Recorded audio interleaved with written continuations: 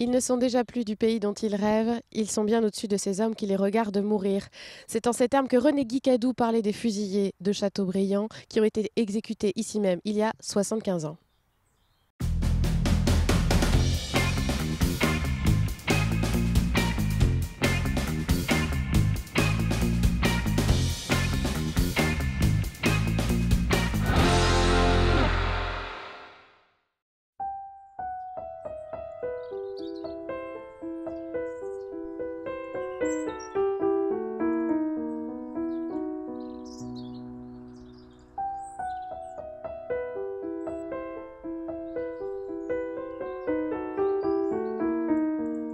On est aujourd'hui sur place à Châteaubriand puisque dimanche aura lieu la 75e commémoration de la fusillade de Châteaubriand ici à la carrière. C'était le 22 octobre 1941. Et avant le temps de la commémoration euh, officielle avec euh, le secrétaire d'État et également le représentant de la, CGT et du Parti communiste, on a voulu venir ici pour euh, reparler de, cette histoire. On voit que les préparatifs d'ailleurs sont, en cours avant, avant ce week-end. Et je suis avec Jean-Paul Lemaguet. Bonjour. Bonjour. Vous êtes administrateur du musée de la Résistance qui se trouve un petit peu plus haut Hein, au-dessus de la, carrière, on ira tout à l'heure. Euh, on va parler de, cet événement du 22 octobre 1941, ici dans la carrière de, Châteaubriand. Qu'est-ce qui s'est passé ce jour-là? Alors il se passe que 27 euh, hommes sont fusillés par les Allemands, car ils sont otages résistants euh, dans cette carrière donc dite aujourd'hui des fusillés, qui est en fait une sablière à 3 km du centre-ville. Et ces 27 hommes sont enfermés dans le camp de Choisel, qui est aussi euh, au nord de Châteaubriand, mais qui n'est pas ici sur place. Et ils sont enfermés, otages et internés, parce que euh, deux jours avant, à Nantes, a été exécuté Holz, qui était un grand officier de la place de Nantes, par la résistance communiste armée pour la première fois.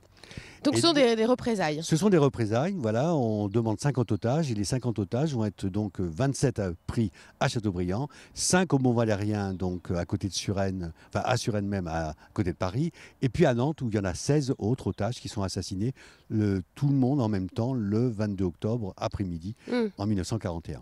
C'est pour ça qu'on connaît le, bah, les Nantais connaissent le cours des 50 otages et ce monument aux 50 otages, mais voilà, ça se passe ici à Châteaubriand pour 27, 27 euh, d'entre eux. Voilà. Et, tous les ans, on commémore en fait. Tous les mm. ans, donc les ayants droit, ceux qui ont été assassinés par les Allemands, les enfants, les petits-enfants, les familles, ou également les syndicats, ou également le, parti politique, le Parti communiste, notamment la CGT, et également des associations, viennent ici commémorer parce que les familles se sont rassemblées en 1944 en disant il faut qu'on s'en souvienne.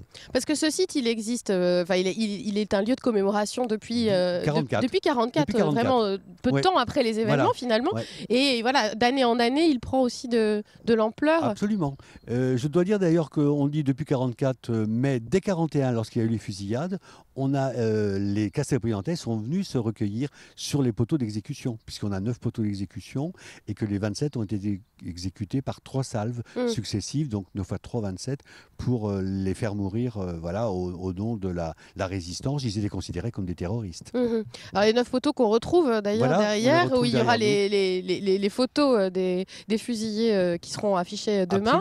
Et puis bah, tout au long hein, du parcours, là autour, euh, on retrouve les photos aussi de ces 27 fusillés. C'est très bien fait. Il y a 27 stèles, donc avec les 27 fusillés. Donc on a à chaque fois des stèles euh, qui sont mis par trois hommes. donc on a par exemple Désiré Granet, Guy Moquet, Charles de la Vacquerie. Et donc on a leurs photos en noir et blanc. Et puis trois ou quatre lignes sur la biographie, leur âge notamment, et ce qu'ils faisaient dans le civil. Alors justement, qui étaient-ils ces, euh, ces, fusillés? On, a, on connaît beaucoup Guy Moquet, on en parle beaucoup car il était le, plus, jeune. plus jeune. Guy Moquet est très connu parce que bon, c'est le plus jeune, c'est un étudiant, c'est un intellectuel, il écrit bien, c'est un sportif, euh, c'est un beau jeune homme, et son papa est en plus député communiste du Front populaire, et il a été raflé avec d'autres euh, euh, députés de l'Assemblée nationale, et ils sont tous à Alger, à la forteresse d'Alger. Et son, le père de Guy Moquet va apprendre son exécution à Alger, par mm. De Gaulle d'ailleurs, par lettre particulière. Donc Guy Moquet aussi est un militant, communiste, hein, comme ceux qui sont fusillés, ils ont, ce sont des, des militants, des résistants Des résistants, bien sûr il a été raflé à Paris, euh, il distribuait des traites à la, gare de la, jeunesse communiste euh, et du Parti communiste clandestin.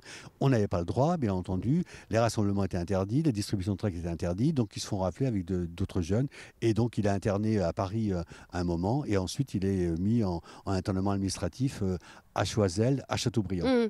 Mais ils n'ont pas, c'est pas eux qui ont commis le, le crime pour Non, lequel ils sont punis en fait. C'est une sûr. représaille un peu Et voilà, aveugle. aveugle et injuste naturellement. Donc forcément, c'est des militants. Donc on sait qu'ils sont anti-nazis, on sait qu'ils sont anti-Pétain également, et donc euh, c'est des représailles effectivement injustes. C'est des hommes qui se sont battus. euh, euh, pour nous, pour la libération de la France, Et ils avaient l'espoir surtout que ça change. Ils savaient que l'occupation ne durerait pas. Or, 41, c'était quand même, euh, la guerre était déclarée depuis Mm. longtemps. Là, ça faisait un an que la France était occupée par l'Allemagne nazie. Mais ils avaient espoir que ça change. Et donc, les valeurs, effectivement, de cette résistance-là, c'est que les changements sociaux sont toujours possibles. Mm. Il y a toujours de l'espoir.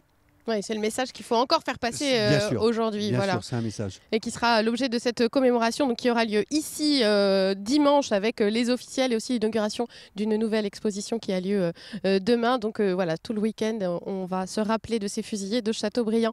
Merci beaucoup, monsieur le Maguet. Merci.